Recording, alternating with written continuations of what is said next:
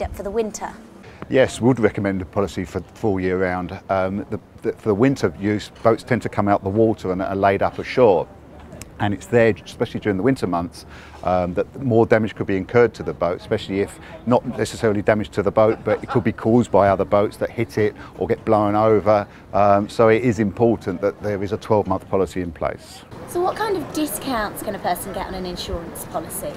Uh, one of the biggest discounts that you can get on an insurance policy is probably the no claims discount. Works similar to a car insurance policy, um, but the longer that you insure the boat on a continuous basis and the longer you go without making any claims, um, that will build up an amount of no claims discount. That's probably the largest discount that, that could be earned against the policy.